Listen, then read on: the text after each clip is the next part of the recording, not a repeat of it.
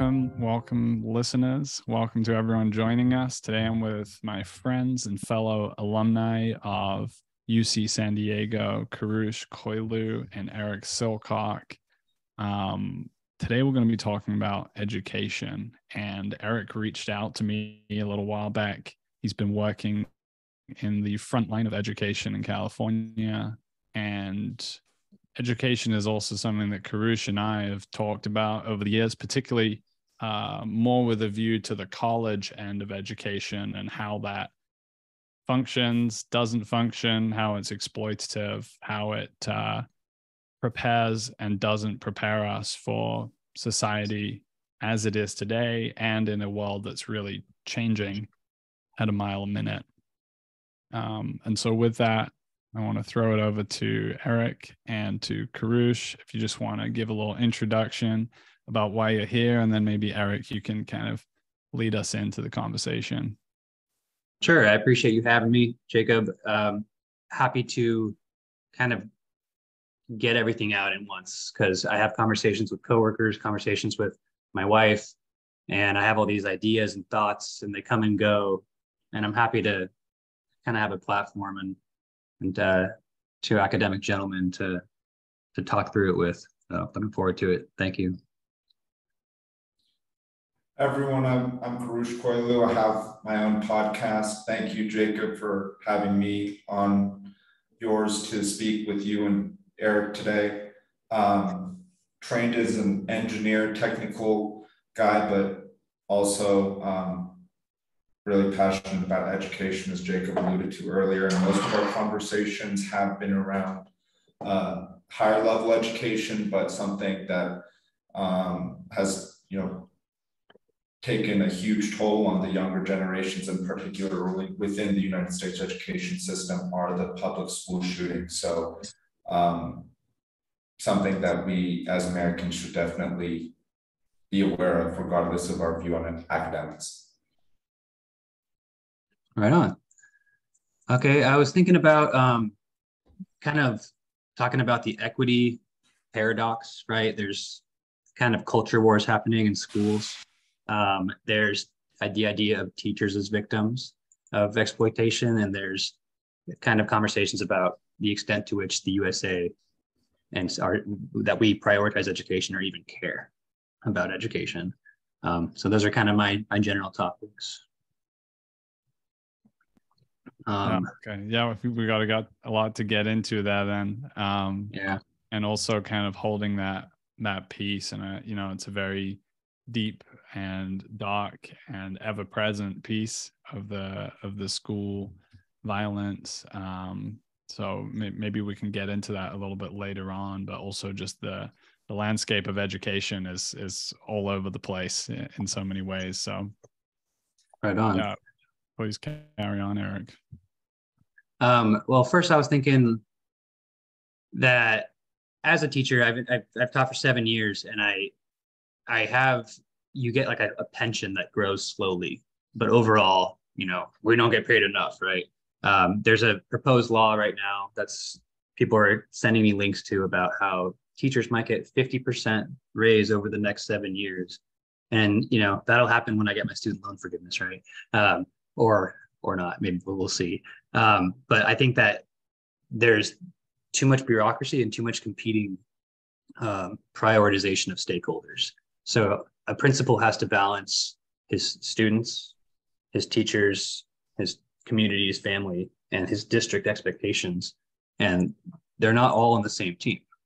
Um, there shouldn't be a prioritization of, of, of, stakeholders. Teachers should come first. No, I'm just kidding. Uh, but like I don't know. So um, teachers as, as as victims, we you have an entire cohort of of uh, sorry, I have a note here. Entire population of people who are highly educated, all the social and financial associations that come with it. Um, pretty much volunteering for a career with you know little little chance of financial freedom or or you know excessive wealth um, and then you have an entire population of people who would roll their eyes at a teacher's complaints. You know, you chose this career, you have your pension, you have summers off is a funny thing that people say. You don't have summers off, by the way. Um, I fear that the financial strain of teaching is too intense. Um, and it's getting worse because in addition to the already known issue of financial stress is that the behavior is getting worse. Um, prior to COVID, I was saying things like, you know, these kids, you know, there, there's this and that, but overall, there's there's less bullying, and kids are kind of more open to be themselves. I was saying that in like 2019. That's not true anymore. I'm I'm hearing slurs. There's fights. There's it's it's worse than ever this year, um, and it's getting worse and worse. And I think it's because we have this naive idea of like here, here's my here's my main thing. Sorry, I'm so, sorry I'm so scattered, but my main thing is we're told if you look at the discipline records and there's more students of color getting punished, you know, getting detentions, getting suspensions, that's an equity issue. And you need to fix that. And so schools will fix that. They'll change that step. Now, did the school fix inequality in the country? Right? Did the school undo the fact that certain populations weren't afforded homes in certain areas after World War II and weren't able to accrue equity? Right? All these you know top i think that teachers and schools are being tasked with creating equity creating equality from the ground up. But it's not the case. Like what job is going to interview you and say oh you have a an issue let me accommodate you. Like of course schools should accommodate kids but i feel like we're we're we don't have enough resources and it's just going to start to uh avalanche like snowball down where okay I, I, I don't have enough you know money to justify what I'm, I'm doing. So people are good teachers are going to leave.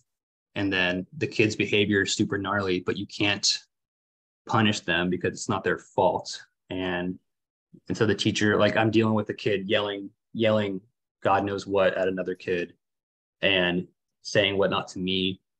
And you know, I send him to the office and he comes back with like a he gets a high five and comes back. And it's not it's not just my admin doing that. It's it's this naive idea that a school or a teacher can uh, fix the problem. It's like the education myth. Uh, well, if we just taught them good enough, then they'd have a chance to get the job, and then they'd be good. But we don't. Maybe we could. Maybe school could be that transforming ID idea. But until everyone decides that they want that to be the case, until no one's benefiting from this continued exploitation, whatever it might be, I mean, until people want to spend more money on education, whether they have kids or not. I don't know what the problem is or what the solution is exactly, but that's my main my main idea. So is like the snowballing effect of of uh, us being tasked with like, hey, like see, seeing the the results of, of for example the, the behaviors as a as the, the the staff or the school having needing to needing to get fixed when it's like, no, we're, eh, anyways, I, I, I want to let you guys jump in. Well, sorry, I'm stream of consciousness too much.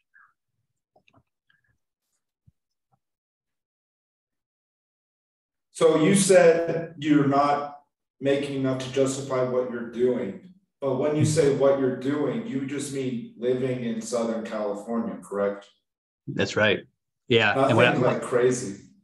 Yeah, exactly. Yeah, yeah, yeah. Uh, owning a home at some point in my life would be neat, you know, without having to move to different, uh, cheaper state.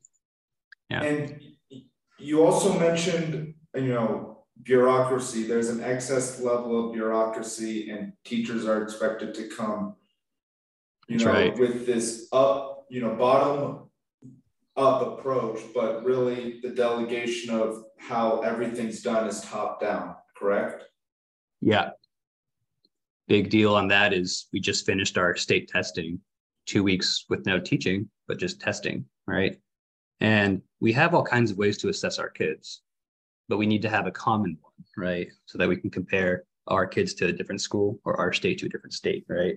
I get that. I get that, but I think the, the cost is too high. There's a whole, you can read about testing and the politics of it, but I fear that there's people at the district office the ivory tower who need numbers to justify their job, their existence. Just pay the teachers. We'll do it. I'll tell you how your kid's doing, right? I don't know. That, that that's the bureaucracy idea is it's largely that that's one of just the main examples about the bureaucracy thing is um, a lot of people who aren't in the classroom are like making decisions about my job instead of me. if I may, um, couple of things just coming up. I mean, the first, just around the economics of this, it does sound like, and this is kind of a trope already, but like becoming a teacher being like a self sacrificial act is kind of the vibe that I'm getting. And what, you know, what's the consequences of making raising the next generation be uh, a wholly self-sacrificial act in which everybody who does it is under some excess degree of strain. And you know like any time in life when you're just like working hard and you're not getting the compensation that's proportional with that that allows you to feel good and well it's just like bears down on you. And then that of course is going to drip down into the quality of attention that the kids are getting and then i'm hearing like there's kind of structural problems um economic problems behavioral problems that the equity diversity conversation is and i don't know i think we need to like pull this apart a little bit, more because i don't fully understand it but it sounds like um it's like unhelpfully distorting or manipulating the situation in a way that feels good or like dresses it up better but doesn't actually um, Exactly. bring deep resolution Yeah, without anyone insidiously choosing to set it up this way, the people who are benefiting from a lack of equity are the ones who are advertising that they're being equitable. You're right. When you ask, like the district office, when you see examples of inequality, asking teachers to fix it is like asking vegans to fix the problems related to over farming or asking uh, environmentalists to fix the problems related to, to fracking. No, I'm, I, I'm the one, I'm the one already, already, wait, no, I'm the one trying to close the gap. I'm the one victimized by the same, the same inequality that we're all facing. Um, yeah, we're yeah we're funded by we're funded at the whim of people who have no idea what what it entails, and more importantly, like you said right there, I think that's the main thing is like, I think these these funding decisions are made by people who don't desire equity. They just desire to say it so because it looks good, so that they can feel good or whatever it might be. Um, our goals as educators might be in direct conflict with our government. That's the problem. Like we're we're funded by a country that doesn't prioritize education fundamentally, culturally. And I feel like the problem is like this metaphor is like all these efforts I do in my class to like to like you know get to know the kids and then put their experiences into my word into the curriculum like and and try to try to get them to have conversations. There's you know, millions of strategies I could cite. I feel like what I'm doing is fixing like a band-aid wound right here on like a victim who's like bleeding out. Like the problem is just hemorrhaging right here but I, we're all working so hard to maybe fix this little cut when the Mm. problem is just so blatantly obvious. Um yeah and and um um kids fall through the cracks. They commit crimes. They go to jail. In my opinion that means that six months ago that kid's school failed to provide what he needed. Um kids need they're needy. You can't just say bad parents and move on with your life. Like it's not your problem. Like criminals are everyone's problem. Um i promise. And so um when you have these behavior issues it's like really tempting to blame the kid or really tempting to it's just really it's, it's really exhausting to look at the huge picture and try to figure out you know oh you know anyways as long as you understand that no, no 12 year old wakes up and is like i'm gonna be bad today you know? That that's a very good point eric is uh it's not a simple solution. It's not like you're going to do this flip this one switch. Maybe you flip three switches at school for this kid and then this kid's entire life is going to transform and he's going to be you know he's not going to be a criminal anymore. It's not that simple. There's a there's a lot of factors that go into it like you know exactly how a kid wakes up and goes about his day. Or her day for for you know? Yeah. Yeah yeah and we i, I don't know if if we should you know if if my argument is like oh let's let's fund education to the point where anyone who has any need is getting it fulfilled like right? There's but when it comes to children um who had nothing to do with their situation they're in to what extent do we do we feel obligated or compelled to to provide for for for a kid who's not yours right?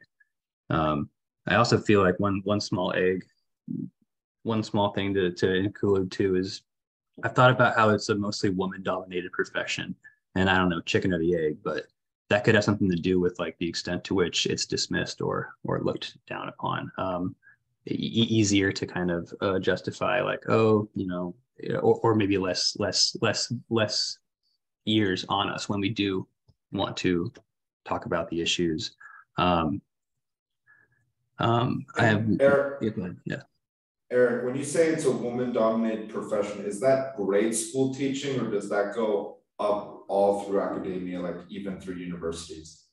I think that's just uh, K through 12. I think in universities it's more evenly spread because in university, you know, there's more spe- specialization. Um, Got it. In K through 12, it's it's primarily women. Um, I wanted to say I had this I have this note. I, Where is it? I also had one more question to chime in Yeah. um, before you continue, which is like uh, you spoke to the sense of like conflict between what you as educators are doing and the people who fund you, the federal government. Mhm. Um, Like, how, what's the kind of general breakdown of where the funding comes from and where where is decision making happening in terms of like federal versus state versus local? Yeah, so there's LCFF funding formula, and it's basically it has to do with like the uh, home values around your school is is one. And so as a school, you can pick between like two methods of, of how you get funded. And you're going to pick the one that's going to get you more funding. And one of them is based on uh, the the property tax of the homes around you, and the other one is um, subscribing strictly to LCFF, and that's more of uh, how charter schools are funded and like performance based and you have to constantly do these like legislative you have to do these like these hoops to constantly like uh advertise the effectiveness of your school in order to secure more funding. So it's almost like a this like weird like merit based approach to, to funding but that's that's more small that's more like charter school so it's largely like the value of the homes surrounding your school is going to determine largely the funding you get and then of course how many kids go there um, so there's not you know, and, and that's that, that's that's all that's all fine. It's, it's just that like, how is it the case then that I'll that while working at this school for my whole life, you know, not be able to have these homes, right? Right. So if it's based on if it's based on the home value, right? Then how how is my salary sixty k seven years in, right? Yeah. Uh, Um, So those funding, F, those funding organizations are, you know, the local one, that's uh, or the property tax, that's local, correct? yeah. And then the one that you said is based on a few metrics similar to charter schools, is that state or is that also more local like county or I think even school districts are smaller than counties? Yeah, that's. I think they're. It's all. It's all state funding. I think we get. I, I think our school would, would receive very minimal federal funding, but I don't know the exact details about about the funding. I've definitely like had a class on it and like learned about it at some point and like knew knew what these acronyms meant. But it was more like, more just like hearing people talk about education in media and having a, you know, hearing about people who what was uh what was not to throw the word Trump out, but like what was the the woman he appointed as Secretary of Ed for a few years, and she whenever I heard her talk, you know, she hadn't she hadn't been in the classroom, and but then again, so what's the what's the consequence if she's not making these these huge decisions, right? But I think that because it's it's just the way it is, and everyone deals with it, no one's to blame, but the but it's not enough. Okay.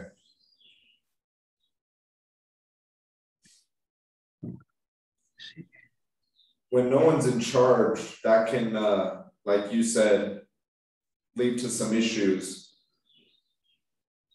Yeah, and if and if if collectively, you know, if if I were to say, oh, um, you know, there's there's kids, I don't know. I, I guess it, until we, because it's a it's a state state funded, uh, because it's a collective, you know, it's it's our country's education. Until we decide that we want it to be better, it won't be right. I, I can't produce it myself by being a better teacher.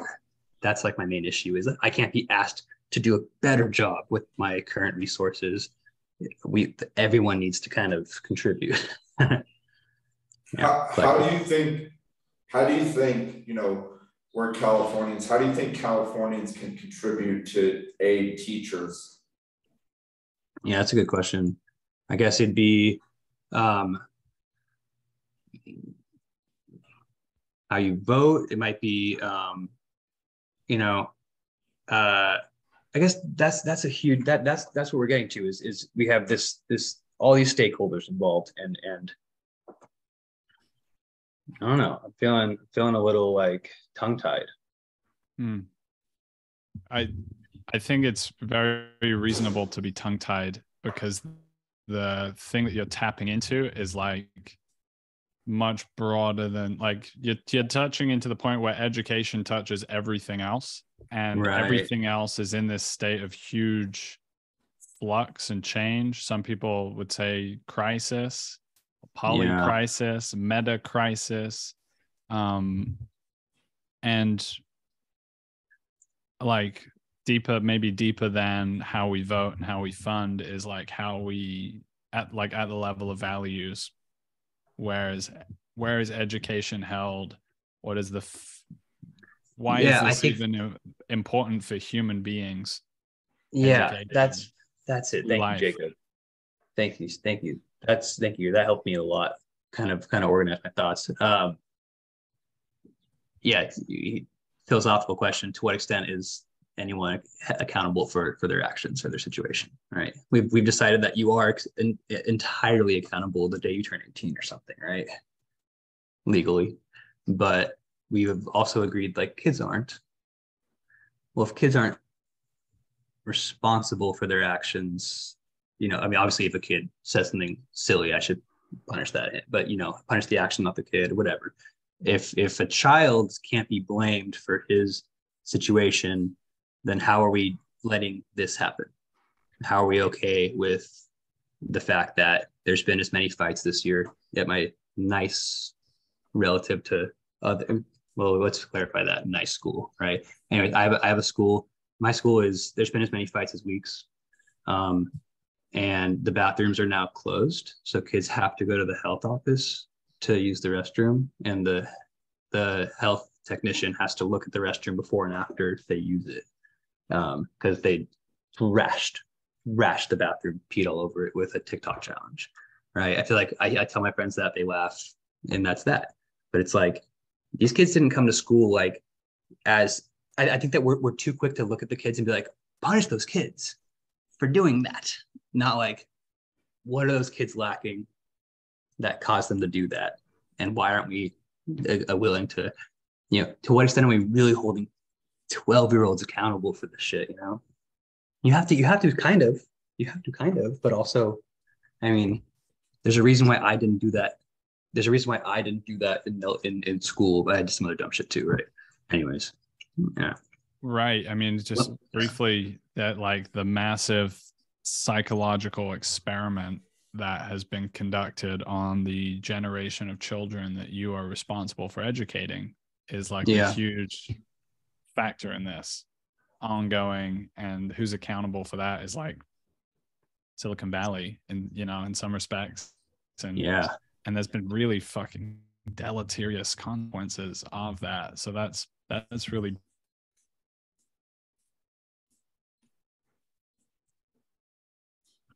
Eric I still got you. Is Jacob off? Jacob froze on my end.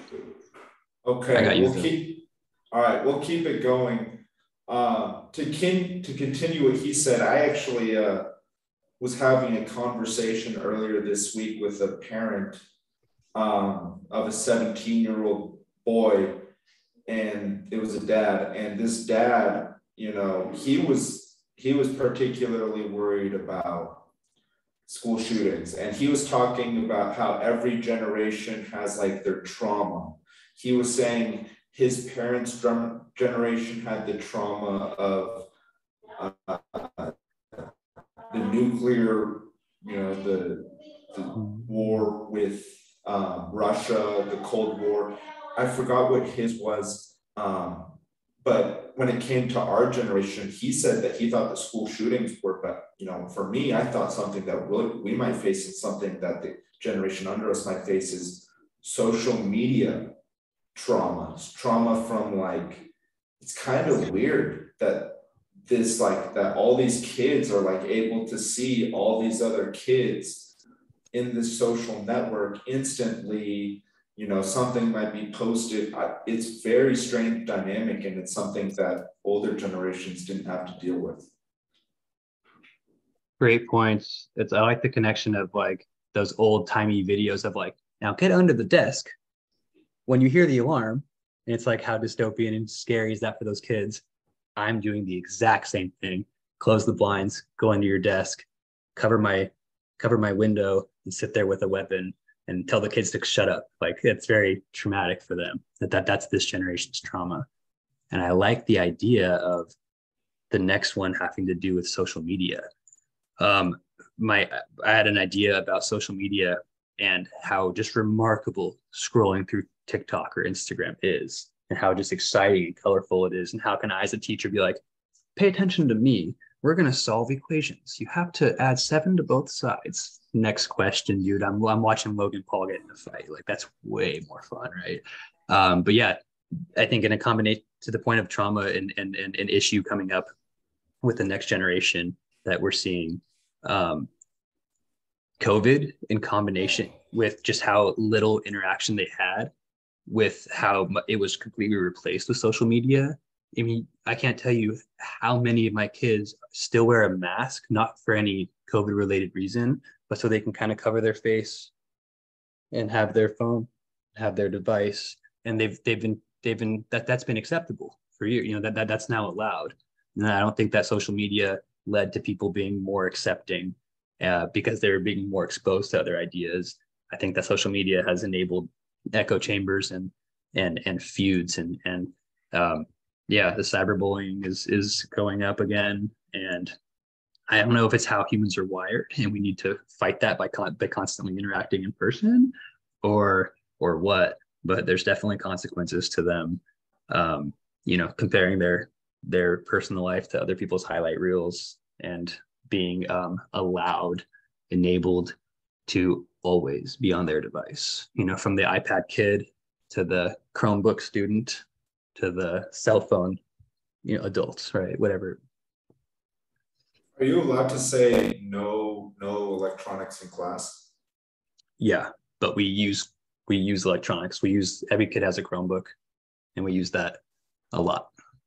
Wow. Okay. Is that yeah, we have firewalled to restrict? No, it's really bad. It's really bad. There are programs that can do it. They're expensive. So there's an equity issue right there. There's an example of us not prioritizing education because um, not every school has the Go Guardian is the name of the program uh, where teachers can see your screens. So yeah, I got kids on cool math games all the time and on Discord, sending pictures of each other and whatnot.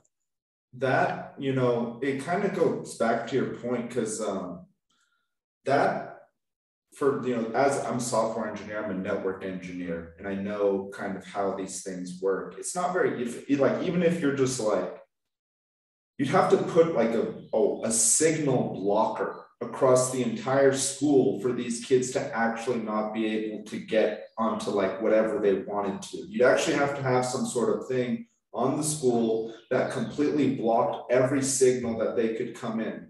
and so until every school has that, these kids realistically, everything they get is going to be kind of delegated from their parents. Like, did their parents put parental control on there? Did their parents, you know, talk to the telecom providers, say, hey, if it starts going to these terrible websites, just just say no. So it's it's like you said, that's very expensive and going to that GoGuardian, I don't, you know, that too. But like even if like somehow all the devices that you know this or this you, you think this kid is supposed to have and they're not supposed to have anymore if you're able to control those that kid could still have another device and then that device could still be connected out yeah yeah they're going to find a way. Yeah i'm i i just your last few comments eric really kind of blew me away and i feel like the magnitude of the issue is has grown substantially for me just hearing about this. Because uh, you know i was probably in i was in the seventh grade when they first brought in laptops and then they didn't have them in secondary school and i i'm 27 now so you know it's 15 years have passed basically and just the fact that they have discord in the classroom to me is like that alone is like devastating to um, the possibility of any kind of real concentrated engagement. And yeah. it, you know, the thought that was coming to me spontaneously was just like, actually, it sounds like this technology and its effect is going to demolish education as we know it. I'll be pulled in too many different directions with too many different parent preferences and too many uh, competing like entertainment it's like it's, it'll be hard for me to i mean during covid we, we tried that we, we we tried how much can you teach if kids have full access so we're on zoom like this every kid is a black screen doing playing xbox you know right if you have the opportunity to be on snapchat instead of listening to your math teacher come on yes yeah, yeah. sorry I, I did cut out there but um I guess what I was getting to is like the the possibility of sitting in like rows, everybody attending to the teacher and doing math problems. Um, like it seems like what's obviously there's going to have to be some radical firewalls and regulations and a whole lot more uh, attention to the kids. What's fucking up the kids in you know from society at large, but it seems like the nature of education itself will have to um, evolve into something that's much more uh, tactile and engaging and maybe it you know looks quite different from education as we've known it of like 30 kids in a room we're going to do english then we're going to do math and then we're going to do science and it's all going to be preparing you to take sats and then that's going to get you to college and ultimately it's a railroad to a job but then it's not totally clear what the purpose of the jobs are or whether the jobs even are going to exist in the future and so you see what i'm getting to here it's like what percent of what you learned in grade school do you use in your job today yeah yeah. Yeah. I, wonder all the time when I'm like beating my head against a wall, putting a circle into a square, wondering why it's not working, going, come on, get your stuff out. Come on, where's your homework? And, I, and I'll, I'll stop and think, is this really what this kid should even be doing right now? Like, like, it, can I really justify like he, sh- he needs to learn surface area? He must. Like, is that is that really what this 12 year old need, needs right now? Or does this 12 year old need something else? Yeah. That's such yeah. an interesting point. I mean, is that kind of uh, is part of the answer to that, like the actual emotional, psychological character development, like all the stuff that's being completely, uh, you know, undermined by the new social media landscape like those things those actual socialization if if if anything that's what i'd say i took away from from school is like play, friends, that you know. And a legislation to your point is that it's very hard to expel kids now, and we do not hold back. So you stay with your peers because being with your peers is more important than whatever you did or didn't learn in math class. So kids are, but then you look at the high school teachers who are teaching algebra two to kids who haven't passed algebra one yet, but at the same table as a kid who's Stanford bound. And it's like, okay, how do I teach this? Right. Um, but that that that came about because of what you said. Yeah the social cohesion the fact that we understood that like that's the most important part of school. That's what we're providing is kids to interact with each other and whatnot. I was thinking something that'd be kind of cool i think Kourosh might enjoy talking about would be like what is that solution? And i think the solution here it is um, what about like an ai school that is tailored entirely to the individual and that you go at your own progress? So wow. you you you put the Oculus on, and it's like, welcome, Eric. Today you're gonna based on based on a million pieces of data points I have on you, we're gonna learn math, but you're gonna be physically picking things up as far as you know, like maybe it's VR, or maybe you go outside and do it and you're interacting with things and there's incredible content in, in this stored in this device, right? Um, and that way, maybe you're at school and you take the device off, you look over at your friend and you're like, oh, your school looks so fun today. I have to work. I'm working really hard today, but then I get to do this. Like, you know, oh, your school looks so cool today. Like, you know, eh, eh, that's that's that's the perfect utopia idea. Is there wouldn't be this massive variety in class, or there only would be in so much as it's beneficial to kids to understand that there's different people and they get to interact with them and learn how to communicate with them. But their learning is still entirely tailored to them and, and their abilities. Completely tailored education yeah. but not extremely expensive tailored education. Yep. Yeah. Because how we have it right now is it's it's pretty expensive. Education's expensive, but um, we have I'm providing what, what I described, right? I, I'm I'm only so well, right? Not as well as we could possibly imagine, right? But I'm that's I, that's what we're tasked with is to understand all the kids in the room and to get them all to where they need to be, which is not equality. I don't give each kid the same thing. I pursue equity. So I give different kids different things based on their needs. But wow. that's just could, yeah. Could you explain, you know, equality versus equity? Yeah.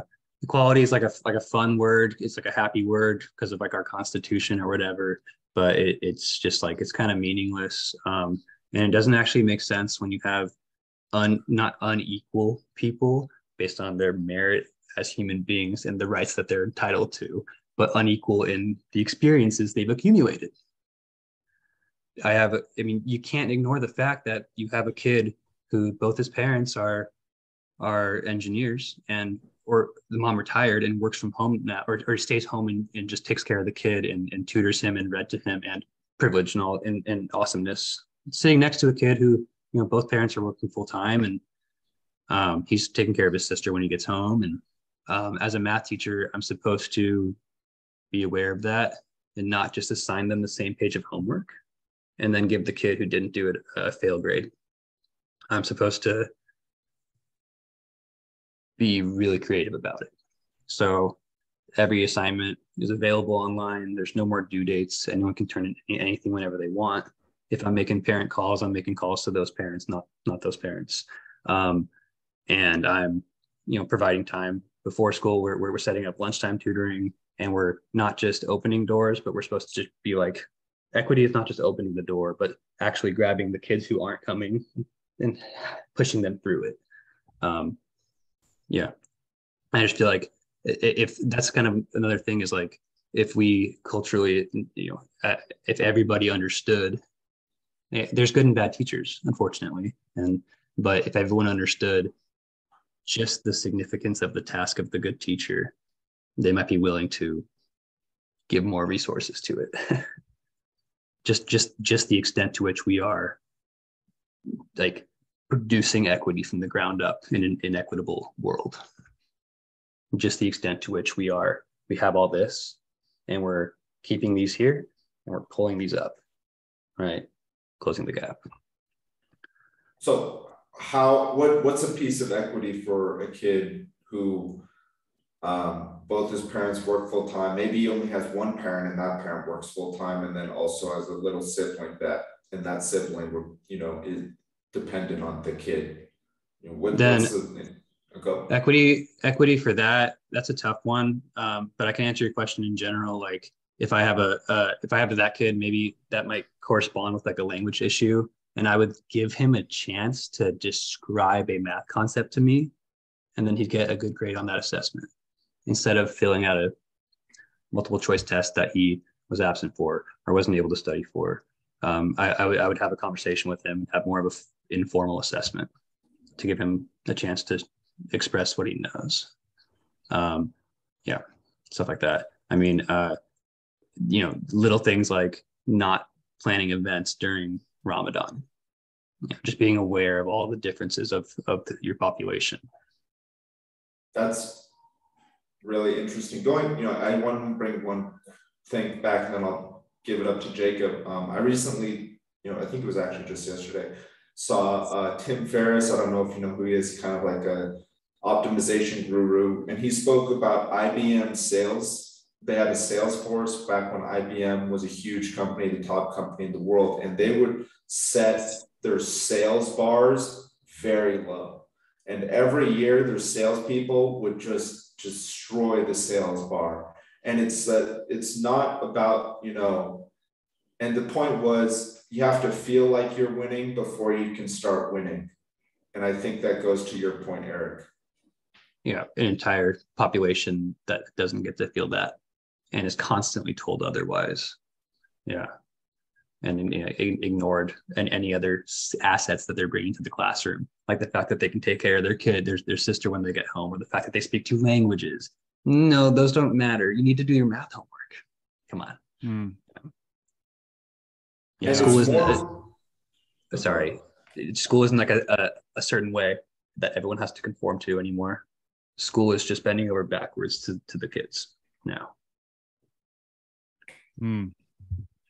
That's what I'm I'm appreciating and and what you've said, Eric, is just the how fundamental the tailoring is to what the role of the teacher is to be, and it's a very human, human to human thing. And I I I have a lot of uh, caution and concern about how AI solutionism or technology based solutionism would disregard the importance of that um, especially when ai as it currently exists is in a market uh, attentional market capture context with very little deep deep ethical orientation and that's already what's happening to the kids is they're being subject to uh, completely ruthless algorithmic uh, you know machinery uh, training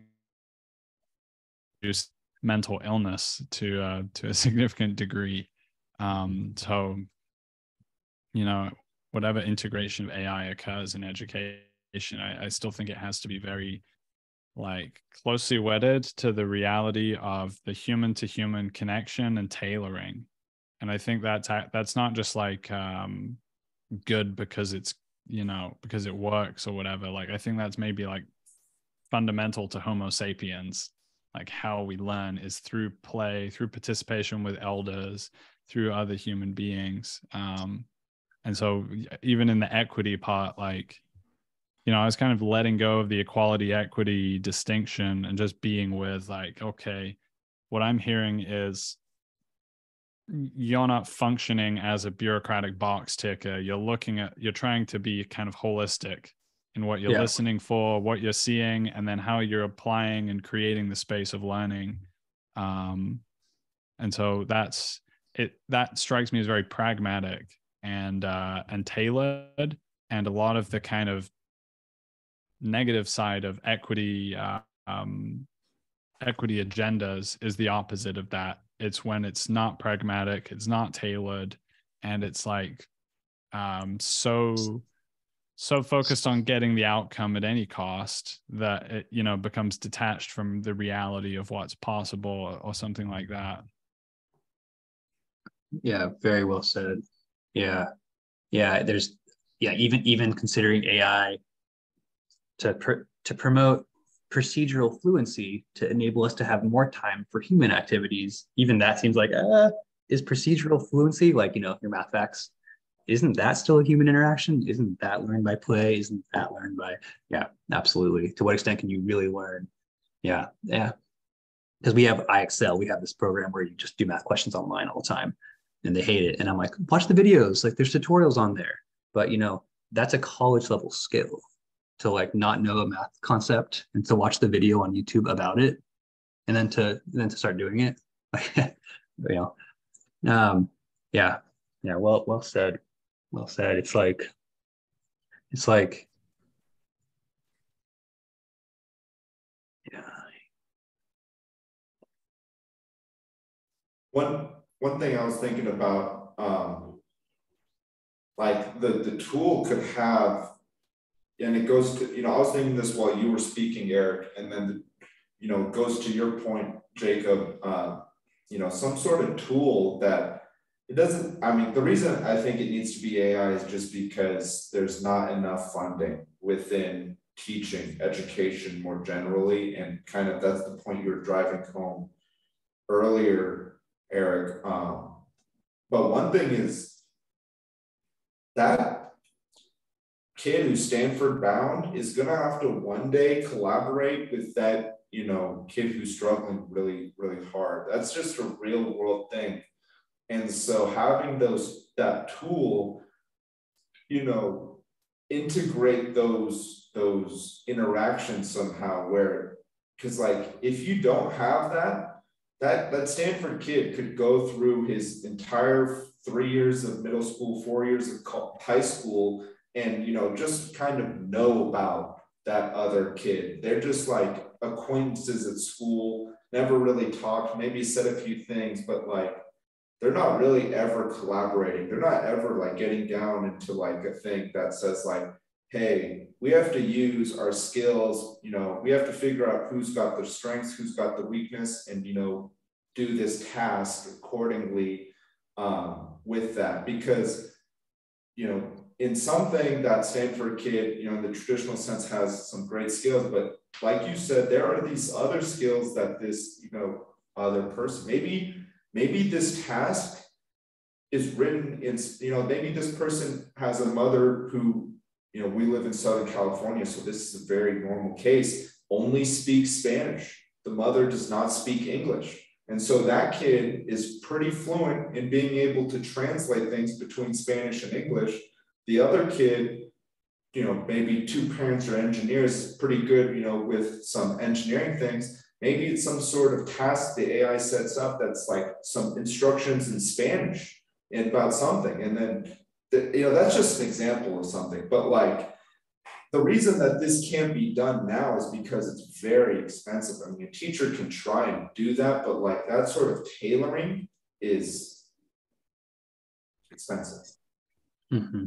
It's easier to create some kind of rubric and see how those kids measure up and evaluate them based on that and move on. And that's there's there's merit to that too. Yeah one yeah. thing uh, that's coming for me um, and i know we're kind of getting to the last 20 minutes or so but um, my sister uh, lives in san diego she's got three kids she decided she, they did a little bit of uh, pre-k and elementary but she's homeschooling them all now and she's like many many americans um, part of a whole like homeschooling network and in terms of tailoring, I mean, there's a lot of issues with homeschooling, and you know, especially at the end of like lower socioeconomic conditions, it you know is where the where the state schooling is very important. But in terms of tailoring, in terms of like experimentation, it does seem like that is a um, that's kind of a laboratory space outside of the mainstream education structure where people could people were able to do a lot more things and just try stuff out. Um, and maybe uh, you know that's a that's a place where the new approaches to education can be forged a little bit. And but then there's a question of like how does that stuff feed back in? Is you know is is it even working does there have to be some sort of um, education revolution uh, in terms of this whole structural pipeline of education and the kinds of human beings that it's producing and whether that's even useful and whether we want to put more generations of children into that at all you know do you know we have it yeah. we inherited it it's already there we need to do the best we can with it but yeah. Is it well let's just get the right everyone you know all 370 million of us to agree on what what school should be. Let's all let's have every single person agree on exactly what we want the outcome to be. Yeah and, and until that happens right then but i really like the idea of looking at alternative education happenings like homeschool as like a sandbox as a reference as a what are things happening there that are that, that are awesome. Um yeah i feel like we're we're our fundamental function in, in the especially particularly in the low socioeconomic area is a chance to um, like childcare right a place for the the human children to be while the parents are working and you know we're, we're, we're providing that fundamentally outright. That's the bare minimum. to what extent do we collectively think that it can be more? And yeah, how, how to get there. Yeah. I appreciate you guys. I know I've been like so rambly and so like there, there, there, there. And I'm just really appreciative and really impressed at your ability to kind of synthesize and reiterate and and to to share uh, so thank you for that thank you for providing some structure really really impressive no it's been it's been wonderful and uh it you know just speaks to how much of a multi-dimensional uh field education is when we actually unpack it and how it connects with everything else uh, so we really have to be able to hold a hold a conversation like this. Um, so yeah, I'm I'm really glad, and I also feel like you know there's just like no. Oh, he he froze while exploding. I know. Uh, that's unfortunate. That's really unfortunate. Um, well, we'll keep it rolling until he comes back, and then he can you know continue. Uh, Jacob, you're back my apologies, gentlemen. Um, I am back. Yeah, just just to reiterate how much of a like we've we've covered a little bit, but there's so much more to get into around education. Um, and yeah, I don't know if there's any more uh, really outstanding pieces for either of you, or if you want to draw things to a close here. I'm I'm quite open. Yeah. Um, have you heard you've heard people say well we need trash pickup well we need you know we need you know low level laborers oh we, we we need those people in those jobs right that kind of like almost bigoted approach to like well some kids are going to fail we need we need mcdonald's workers like that sentence right i think that at least in in recent years a, a, a positive thing about culture is that it seems like there's very few people still making that argument um, at least in y- younger younger populations. Um, it seems like we we're, we're at least agreeing that school can be a um, a place where every single kid can become uh, like independent and satisfied with their life. So any any job that any career that they might end up in can at least enable them to feel some base level of objective freedom. And, you know, I don't mean to steal the end of it, but teaching should not be one of those. Teaching should not be, or sorry, when I say that, it, you know, students shouldn't you know, have this mindset going in. I don't know about the UK, Jacob, but in the US, it's very pronounced. Um, you know, young people shouldn't like be worried about becoming a teacher because they don't want to be financially stable. That's a that's a thing that for the rest of us Americans really um, it, it it costs us. It costs you know our children of the future, and we don't have children yet, but we all I I do want one. I do want some, and so um, we don't want the teachers that teach them to be struggling, and we you know we want good, qualified young people to aspire to be teachers. So, going to your point, it's really important for just for us to keep in mind that we want the kids to have that idea, but also, you know, teaching that that one curriculum, the the ones that are inspiring the students, we have to really uh, care about their well-being. Yeah, yeah, and that's there's thank you. There's such a such a strong connection between this. Isn't just like I should get paid more. It's if I was paid more, or well, that's one aspect of it. But as yeah, culturally, if if it was a good job to have, if if in the USA it was a good job to have, then there'd be better people doing it, and and there'd be there'd be it'd be it'd be occurring better. Yeah. Yeah. No, really, really excellent uh, point there, Kourosh, and feels like a good kind of closing note. And I, I certainly just reflect on my own educational experience of very particular teachers that helped me along at certain moments and kind of injected some aspiration that I didn't necessarily have coming from a more working class background and coming from a family where all my siblings didn't have super high academic uh, orientations. It was those handful of teachers at those moments that led me to, you know, go to university and then from there um, have the have the life that I've led. So those it feels like you know people who reach out a hand and take you from one part of the journey to the next, and it's really really important. And uh, I, I also think it's really important that we think about how to have that continuing beyond the mainstream educational structures throughout adult life um, through mentorship and, and things like that and you know really build a continuity of this as well yeah we shouldn't we shouldn't see helping the next generation as like lesser or even feminine or even inferior we should see helping the next generation as like our absolute number one priority that and like i don't know there's a lot a lot there but I heck yeah. Thank you both so much. Yeah, thank you so much, Eric. And thank you, Kourosh. It's been a pleasure. Sorry about the little interruptions, but it's been a really, really wonderful conversation. So thank you both. You got to let us know when you're in California. I will do.